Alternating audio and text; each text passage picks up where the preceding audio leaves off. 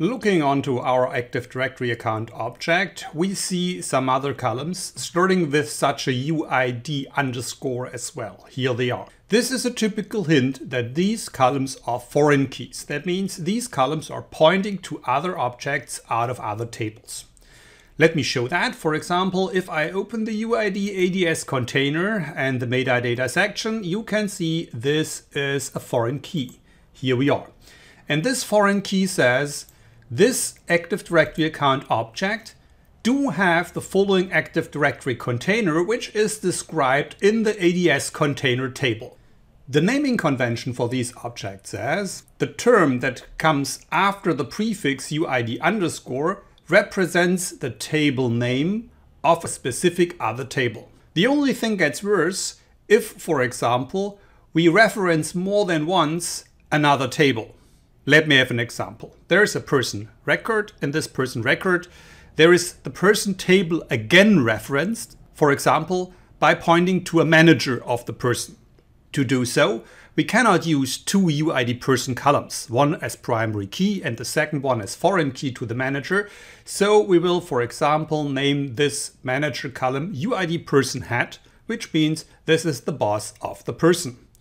At the end, the term after UID underscore, which is not the table name, points always to a foreign key. And the interesting thing here is the name should always point you to the right table.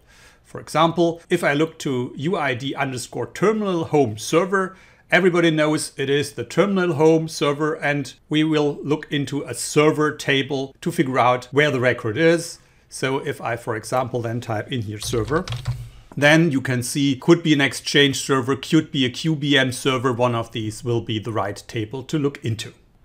To show you that and to use these relations in Visual Studio, I go back to my Visual Studio. And in the Visual Studio, you can see a DB person object, which is a new I entity.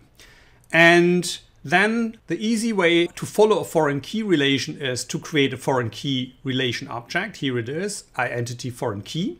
And I do that on the basis of my DB account object with getFK, which means get foreign key on the session for the column UID person. This returns not a database object, this returns just a foreign key relation. Here it is. And now I can use in a second step the foreign key relation to load the object. Typically, I will do that with a specific if construction. You can see that here. So if the relation it's not empty, then please assign to the person object the following related object, which is then my person object. This is the first question. And automatically there is a second question. If I step back in object browser, you can see all of these account objects are just assigned to one person object. We name that a one-to-n relation, which includes that if I look onto the person object, I should be able to see a number of assigned account objects to this person. One to n relation. One person do have many accounts. The interesting question is what kind of reference this is. And we name that a child relation. That means the person objects do have many child. To get that evaluated, I can step back into my code and I have to do the following. Here is my person object. I just load it with the help of session source get, you know that. I create a query and this query includes look into the Active Directory account table, take the where clause and select all objects where the UID of the person object is the UID we defined on top. Select the displays means that for this collection I get only the display values back. With the help of this query, I can then load the collection. Here we are. Entity collection load type bulk says all objects are fully loaded. I can handle them whatever I like. And then I have only to step through a loop to handle all of these different account objects. So two things seen. The first thing was following a foreign key to get an object which is related to the table I'm looking at.